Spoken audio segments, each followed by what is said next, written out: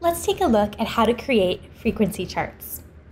The graph below shows how many different hobbies each student in Braden's class has.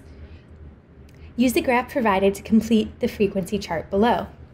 Now, there's a couple things you want to look at when you're trying to interpret a frequency chart.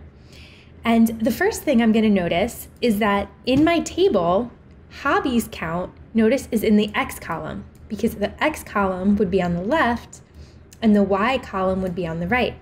That means on my X axis, the one that runs from left to right, these numbers, 15 to 19, 20 to 24, 25 to 29, and 30 to 34, would represent the hobbies count.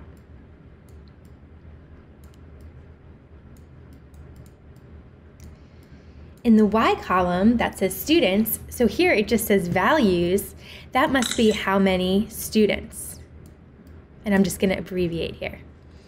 Okay, so now that we have an idea of what we're looking at, notice they filled in the other numbers for us. And you can even use this as a little bit of a hint. Notice 20 to 24 hobbies was answered by six students. And you can see that 20 to 24 students, the top of that bar is up here at six.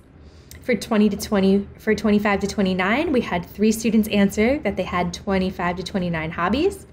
Well, you can see, same thing, the top of the bar is at three, for 30 to 34, the top of our bar is at 2. So if we look at that same pattern and say, well, how many students would have answered 15 to 19? 15 to 19 is that first bar in our frequency chart. And I can see that it reaches, the top of that reaches up to 4. So four students answered that they had 15 to 19 hobbies.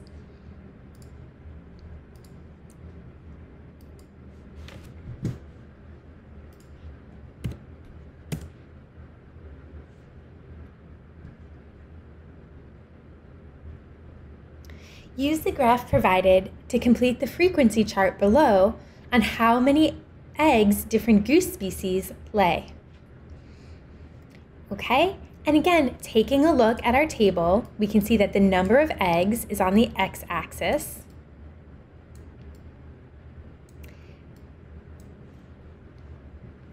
And that the number of different goose species put SP over here for short, is on the Y axis, right? This is our Y up and down axis, this is our X left to right. Okay, so 40 to 59, we want to know, well, how many species lay 40 to 59 eggs?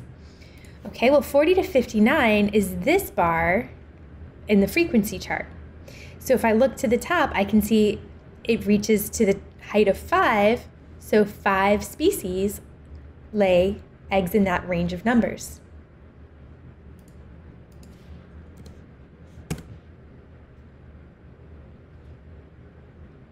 The data below is the grades from a quiz written by Ashley's class.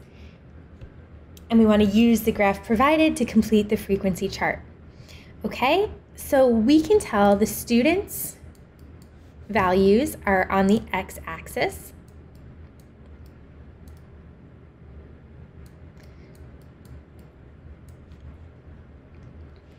And the mark, I'll put M, is on the y-axis. All right, so 25 to 29 students had what mark? Okay, so I wanna look for where I see 25 to 29, and that's here in my first bar on this frequency chart, and I can see that it reaches up to a height of five. So that means the mark was five. The graph below shows how many different hobbies each student in Williams' class has. Use the data provided to complete the frequency chart below. Okay, and the missing value is for the 8 to 9 hobbies chart. And I can see hobbies is on the x-axis down here. So if I go to 8 to 9, this would be my bar right here, which reaches up to a height of 1. Okay, this chart looks a little different. Notice they, instead of giving us a bar chart, this frequency graph has a line graph.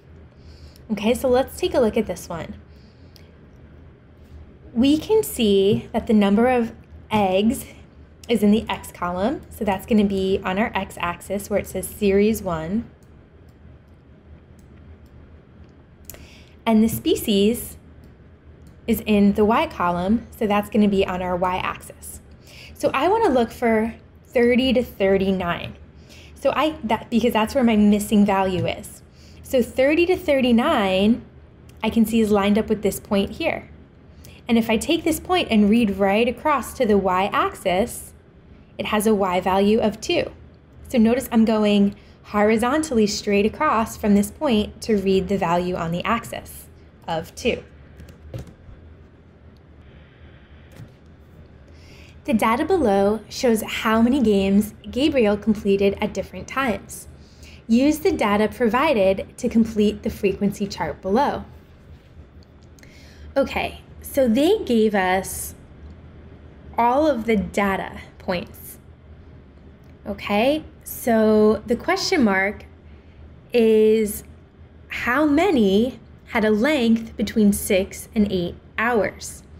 Okay, so if we think about the numbers that would be in that range, we want to see anything that had six hours, seven hours, or eight hours, right? That would be the numbers for six to eight hours.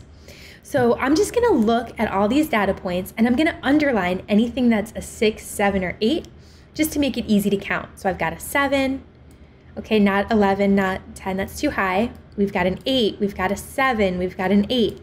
15, 14, 11 are all too high. 13, we've got another 8, 7, 8. 14's too high, 5's too low, 13's too high. We've got another 6, 8, 7, and 5 is too low. So again, all I did was underline any numbers that were 6, 7, or 8. And now I'm just going to count how many of them there were. There were 1, 2, 3, 4, 5, 6, 7, 8, 9, 10. So that would mean we would fill in a 10. There were 10 games that were six to eight hours long.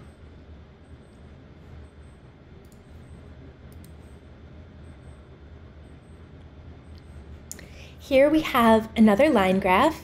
The graph below shows how many different hobbies each student in Ethan's class has. Use the data in the line graph to complete the frequency chart below.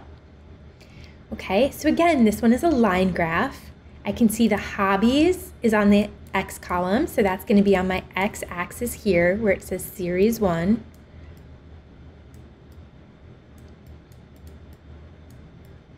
And students is on my Y axis.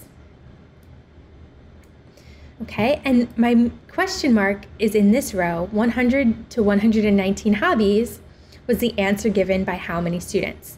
So I want to start by going to where it has 100 to 119.